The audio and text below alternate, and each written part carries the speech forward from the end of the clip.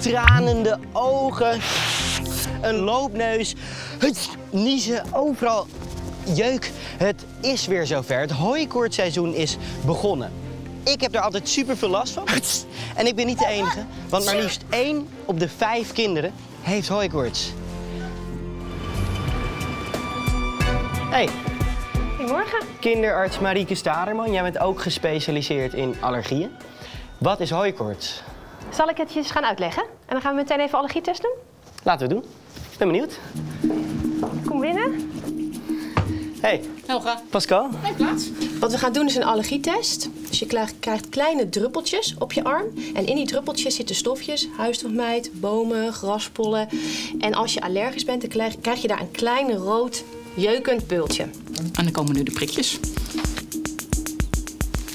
Oh, valt mee, eh, gelukkig. En dit is wel grappig, want het begint nu al te jeuken. Dat klopt. Nou, echt een paar seconden. Op meerdere plekken. Nou, we gaan eens eh, kijken welke het zijn. Ik ga eventjes eh, een cirkeltje eromheen. De grote. Dat is de berk. Dat is een, eh, een voorjaarsboom. Dus ik heb hooikoorts. De allergietest laat zien dat je antistoffen hebt voor berk en voor graspollen. En als je ook last hebt, je moet niezen, last van je ogen... en je hebt deze antistoffen, dan heb je hooikoorts. Dus, hooikoorts is eigenlijk een vorm van allergie. Precies. Want als je een allergie hebt, dan gaat je immuunsysteem, wat je eigenlijk nodig hebt om je te beschermen tegen virussen en bacteriën en om je gezond te houden, datzelfde immuunsysteem gaat vechten met onschuldige stofjes zoals pollen en stuifmeel. En door die reactie krijg je allergische klachten. Wat er gebeurt is als je ehm, pollen inademt door je neus.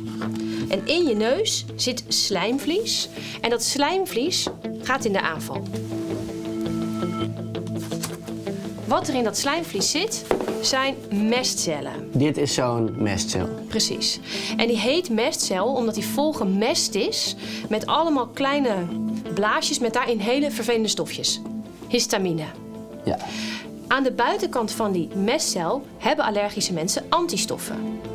Tegen berken, bollen, graspollen, noem maar op. Dat hebben we net bij jou getest. Yes. Op het moment dat je dan die pollen inademt, dan binden ze aan die antistoffen.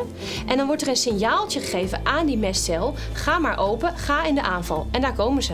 De histamines. Ja, en dan krijg je dus last van je keel, dikke, opgezwollen ogen, overal jeuk. Eigenlijk, naar mijn ervaring, klap je een soort van een beetje dicht, zeg maar. Precies.